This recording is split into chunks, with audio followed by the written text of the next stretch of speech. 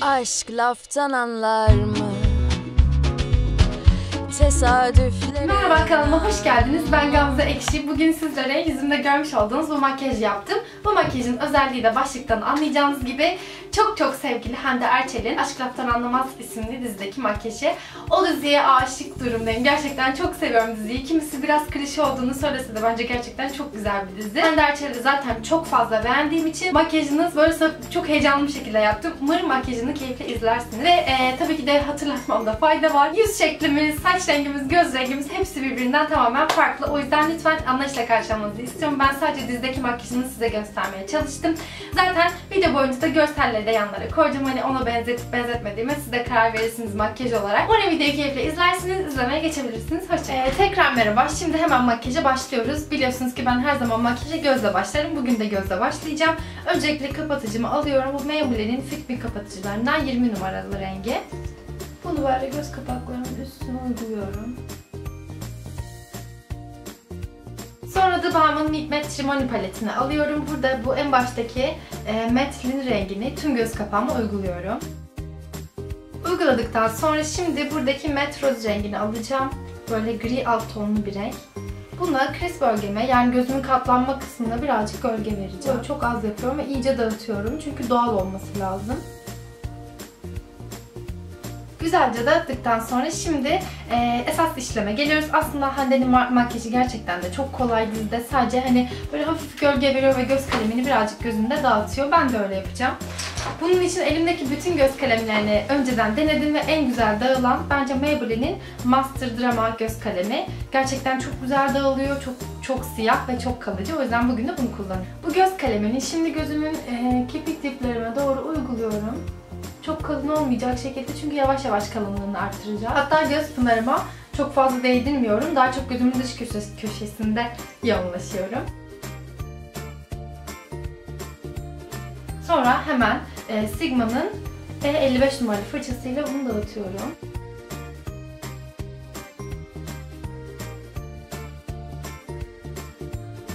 Dağıttıktan sonra yine aynı paletteki Metropez rengini alıyorum. Birazcık fırçamı da fazlasını atıyorum. Böyle gözümün yine kriz bölgesine uyguluyorum. Bunu dağıtıyorum bu şekilde. Ve bu kadar. Şimdi diğer gözümde yapıyorum. Görebilin diye makyajımı iyice yakına geldim. Şimdi göz makyajının yarısı bitti sayılır. Ee, böyle birazcık daha ben fırçamla uçlarını dağıtıyorum bunun. Dağıttıktan sonra şimdi göz altlarıma geliyorum. Onun için de yine gözümün içine siyah kalem uygulayacağım. Çünkü Hande'nin bütün zaten diziyi çok iyi takip ediyorum ve e, genelde böyle işe gittiği zaman veya özel bir yere gittiği zaman hep böyle e, göz altına da siyah kalem çekiyor.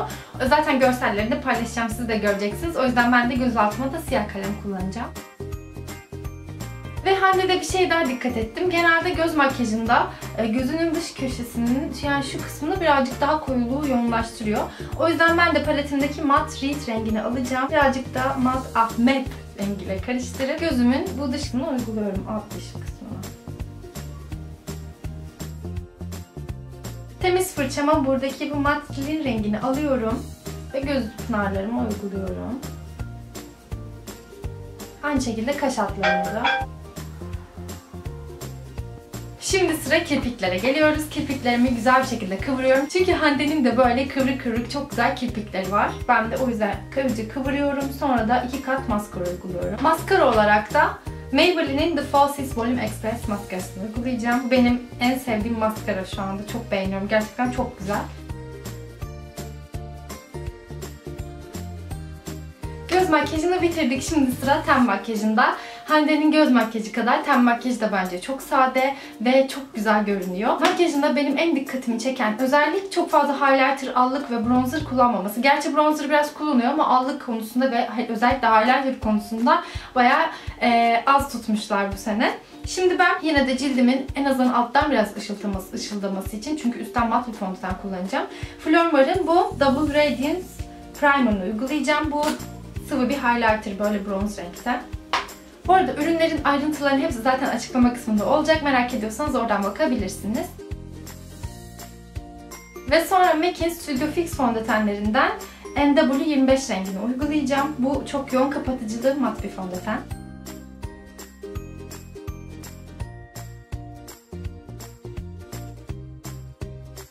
Fondötenimi güzelce yaydıktan sonra şimdi kapatıcı uygulayacağım. Yine Maybelline'in Fit Me kapatıcısının 20 numarasını göz altlarıma uyguluyorum.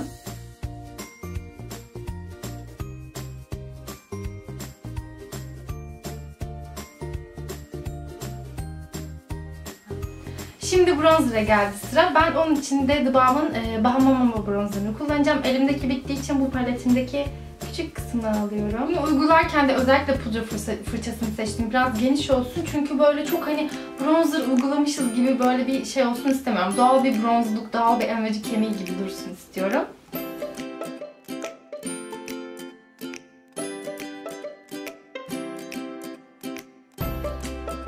Allık uygulamasına geliyoruz. Allık olarak ben bu pastelin e, and Cheek Color Stick'lerinden e, 415 numarayı uygulayacağım. Çünkü Hande de genelde bizde böyle hani turuncumsu renkler kullanıyor. Makyajında da, rujunda da, allığında da hep o tarz renkler. O yüzden ben de bunu seçtim. Kaşlarımda yine pastelin e, Professional Eyebrow Do dedi yani kaş kitiyle dolduracağım. Bu iki rengi ben karıştırıyorum birbirine. Biraz kaşlarımdaki boşlukları dolduracağım. Ama Hande'nin dizde kaşları çok doğal görünüyor yani böyle çok dolu ve kalın durmuyor. O yüzden ben de biraz doğal doldurmaya çalışacağım. Çok hafif şöyle çizgiler çizeceğim.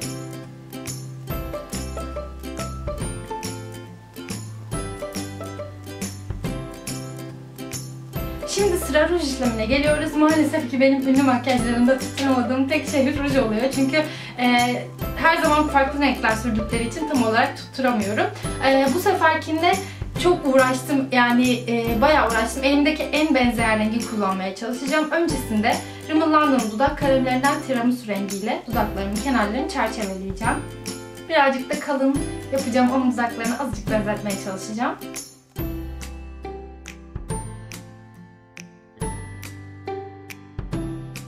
Ruj olarak da MAC'in Kinda Sexy rujunu seçtim. Bu ikisini karıştırınca bence benzeyecek renkte. Ve makyajımı bitiriyorum. Ee, saçlarımı da gördüğünüz gibi böyle iki yandan ördüm. Sonra bu kenarlarına azıcık maşa yaptım. Makyajımı bitiriyorum. Ee, dizde Hande'nin en çok kullandığı makyajı size yapmaya çalıştım. Eminim, ya emin olun sabahtan beri birçok görsele baktım. Ee, zaten dizide çok iyi takip ettiğim için bayağı inceleme fırsatı bulmuştum. Ve elimden geldiğince makyajını size yapmaya çalıştım. Ee, yüz özelliği olarak belki sadece yanaklarımız benziyor olabilir birazcık ama onun dışında hiçbir benzerliğimiz olmadığı için ancak bu kadar yapabildim. Umarım videomu keyifle izlemişsinizdir. Eğer videomu beğendiyseniz beğene tıklamayı, kanalıma abone olmayı ve arkadaşlarınızla da paylaşmayı unutmayın. Beni diğer sosyal medya hesaplarımdan da takip edebilirsiniz. İzlediğiniz için tekrar teşekkür ediyorum. Güzel kalın, hoşçakalın.